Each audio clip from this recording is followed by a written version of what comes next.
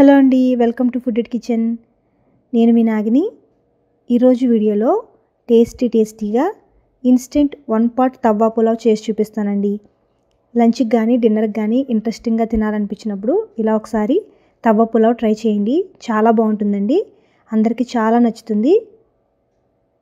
మరి ఎలా ప్రిపేర్ చేయాలో చూద్దాం. లెట్ స్టార్ట్ ఫస్ట్ ఒక తవ్వ తీసుకోవాలండి. ఇలాంటిది ఒక తవ్వ లాంటిది తీసుకుని కొంచెం వెడల్పుగా ఉన్నదైతే కనుక బాగుంటుంది. ఈ తవ్వ పెట్టిన తర్వాత రెండు టేబుల్ స్పూన్ల బటర్ వేసుకోవాలి. బటర్ లేనట్లయితే కనుక నెయ్యిని కానీ ఆయిల్ కానీ వేసుకోవచ్చండి. యాక్చువల్గా అయితే కనుక తవ్వ పులావ్కి బటర్నే వాడతారు. ఇంకా అది లేకపోతే కనుక నెయ్యిని కానీ ఆయిల్ కానీ వేసుకోవచ్చు. ఇలా బటర్ కరిగిన తర్వాత ఒక టీ స్పూన్ జీలకర్ర వేసుకోవాలి. తర్వాత ఒక టేబుల్ స్పూన్ అల్లం వెల్లుల్లి పేస్ట్ వేసుకోవాలి. ఈ అల్లం వెల్లుల్లి పేస్ట్ పచ్చివాసన పోయేంత దాకా వేయించుకోవాలండి. ఇలా అల్లం వెల్లుల్లి పేస్ట్ వేయించుకున్న తర్వాత ఒక పెద్ద ఆనియన్ సన్నగా కట్ చేసింది వేసుకోవాలి. ఉల్లిపాయ పెద్దదైతే కనుక ఒకటి వేసుకోవాలండి. అదే మీడియం సైజు అయితే కనుక రెండు వేసుకోవాలి. తర్వాత రెండు పచ్చిమిర్చి ముక్కలు కూడా వేసుకోవాలి. ఈ ఉల్లిపాయ కూడా పచ్చిదనం పోయేంత దాకా వేయించుకోవాలండి. మగ్గాలన్నమాట ఉల్లిపాయ ముక్కలు.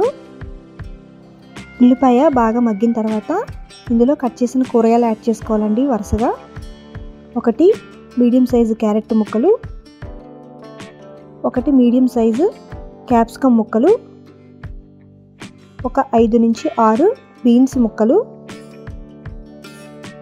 అలాగే రెండు టమాటో ముక్కలు వేసుకోవాలండి.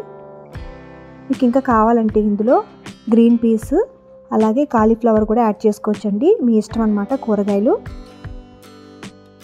కూరగాయ ముక్కలన్నీ యాడ్ చేసిన తర్వాత కొంచెం సాల్ట్ కొంచెం పసుపు వేసి బాగా కలిపి కూరగాయ ముక్కల్ని మగ్గించుకోవాలండి. మంటని లోటు మీడియంలోకి అడ్జస్ట్ చేసుకుంటూ కుక్ చేసుకోవాలి. కూరగాయ ముక్కలు పచ్చితనం పోవాలండి. అంతవరకు బాగా మగ్గాలన్నమాట. ఇలా మధ్య మధ్యలో కలుపుతూ ఉండాలండి. ఒక పది నిమిషాలకి ఆల్మోస్ట్ కుక్ అయిపోతాయి కూరగాయ ముక్కలన్నీ. ఈ విధంగా మ్యాష్ చేస్తూ ఉంటే కనుక మనకి అవి ఏదైనా పచ్చితనం ఉన్నా సరే బాగా ఉడికిపోతాయి. ఇది పావుబాజీ మసాలా అండి. దీన్ని ఒక టీ స్పూన్ వేసుకోవాలి. పావుబాజీ మసాలా లేకపోతే కనుక నార్మల్గా ఇంట్లో ఉండే గరం మసాలా కూడా వేసుకోవచ్చు. ఒక పావు టీ స్పూన్ కారం కూడా వేసుకోవాలండి. లాస్ట్లో మళ్ళీ ఇంకొక హాఫ్ టీ స్పూన్ పావు బజ్జీ మసాలా పొడి వేస్తామండి. కాబట్టి కారం దాని తగ్గట్టుగా వేసుకోవాలి. సరిపడంత సాల్ట్ కూడా యాడ్ చేసుకోవాలి. ఇప్పుడు మరొక రెండు నుంచి మూడు నిమిషాల పాటు కుక్ చేసుకోవాలి. ఇలా కుక్ చేసుకున్న తర్వాత ఉడికించిన ఒకటి బంగాళదుంప ముక్కలు కూడా వేసుకోవాలండి. ఇవన్నీ యాడ్ చేసుకున్న తర్వాత ఒకసారి బాగా కలుపుకోవాలి. ఇప్పుడు ఒక కప్పు రైస్ని ఉడికించిన అన్నం వేసుకోవాలండి.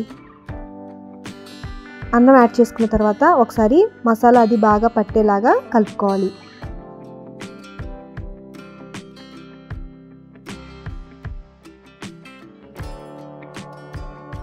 ఇప్పుడు మళ్ళీ మరొక half teaspoon pav bhaji masala పొడి వేసుకోవాలి. కొంచెం బటర్ వేసుకుంటే కనుక టేస్ట్ చాలా బాగుంటుంది. లాస్ట్లో బటర్ కూడా యాడ్ చేసుకోవాలి.